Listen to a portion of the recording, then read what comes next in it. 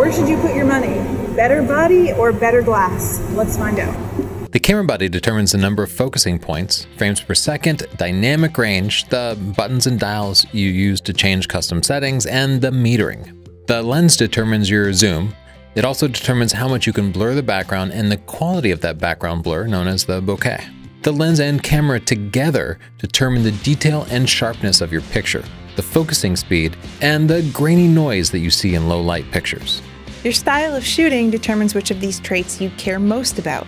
Portrait photographers care most about focusing points, angle of view, background blur, details, and controls. If they shoot weddings or events, they also care about the metering, focusing speed, and low light noise.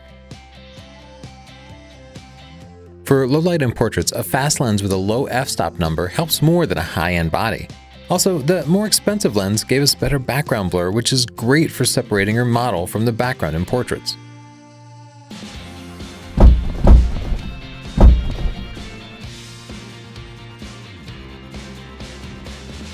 Street photography is more about the subject than the sharpness. Here, a small, inexpensive lens is more discreet. Putting your budget into a better body can get you an incredibly useful tilt screen, faster focusing, better controls, and a silent shutter.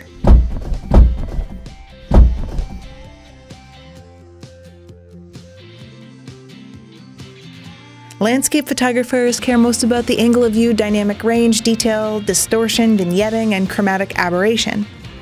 Landscape photographers get the most bang for their buck with an inexpensive body and a great quality lens.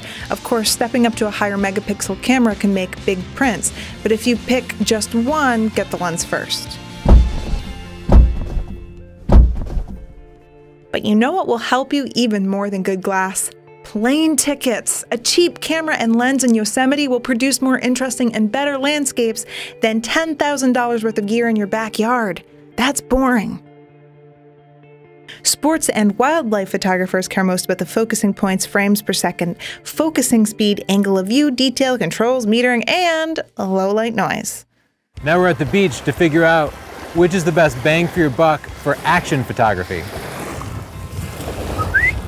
Sandy! For sports, you need to be able to focus quickly on your subject. Both the camera and lens contribute to fast focusing, but in our experience, upgrading to a high-end DSLR makes more of a difference in focusing than upgrading your lens.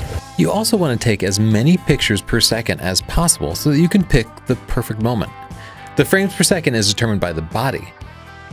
This $2,000 Nikon D500 can shoot hundreds of shots without slowing down and 10 pictures per second.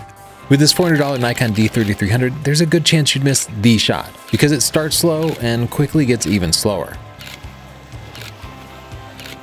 Higher-end bodies also tend to have focusing points spread further around the frame, which allows you to use off-center compositions. A dedicated thumbstick is typical on bodies costing over $1,000, which lets you quickly change the focusing points.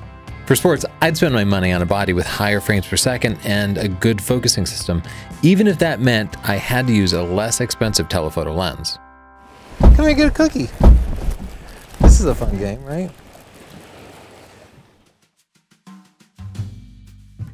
And you know what the absolute best bang for your buck is? Education. Click subscribe for more free educational videos and check out our book, which starts at only $9.99 with many hours of free video. Even if you hate books, you can still learn.